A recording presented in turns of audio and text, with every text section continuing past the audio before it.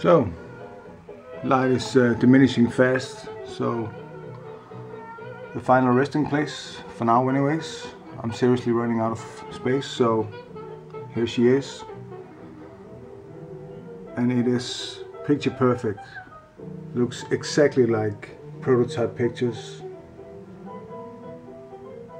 Very beautiful. Very beautiful. So yeah, thanks for watching.